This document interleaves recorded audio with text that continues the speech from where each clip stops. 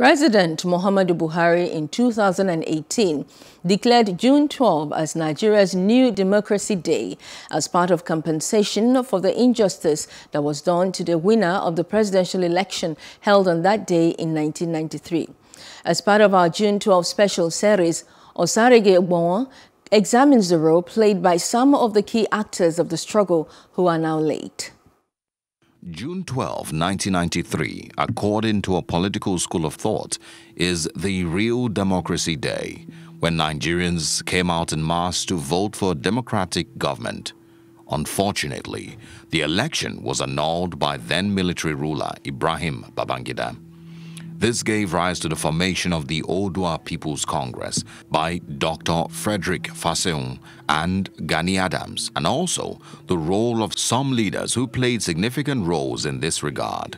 The late Gani Fawehinmi, the late Dr. Beko Ransome-Kuti, also Dr. Ayo Opadokun, Dr. Olisa Agbakoba, and many more. Plus TV met with the families of some of these late activists to relive those moments in Nigeria's history. OPC was formed for the greater good of Nigeria. Now, injustice to one is injustice to all. Now, the OPC was actually formed when it was birthed as a result of the June 12th annulment. Everyone knows that um, June 12th started with the IBB annulling the election. And um, that date was significant because that was the date my dad, Olisa Agbakoba, uh, and a few other top senior advocates and uh, human rights activists started the struggle that no, no, no. These leaders left behind legacies that many say will live long after them. My father always tell me, Enahoro, gone. This one, gone. One day he will go. That he leaves it to the youth of this country that if we do not fight for what is ours, what will become of Nigeria?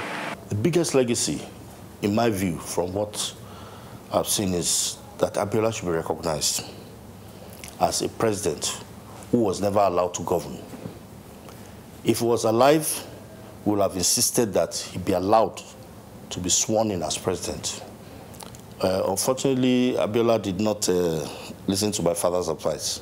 In celebration of June 12, which has been declared the New Democracy Day, we look at how time has affected the June 12 struggle. When Frederick Isotofase was there, when he was, he founded the year, uh, he brought everybody together. Oneness. There was a purpose. You know, now what we have now, I believe we can still go back to the drawing board. Those in the helms of America can go back to the drawing board and look at it. We have a saying in Yoruba land uh, that from the black pot comes white pap. So this is more or less the black pot now. And for him to have recognized Abiola's picture was put amongst all the ex-presidents, was awarded the GCFR, at least that's what the June 12 struggle was about. While the current government enjoyed the accolades of this bold move, there is, however, concern from social commentators that what Abiola stood for are fast disappearing from our polity. Osarogie Ogbonmwan, Plus TV Africa. Hello, hope you enjoyed the news. Please do subscribe to our YouTube channel and don't forget to hit the notification button so you get notified about fresh news updates.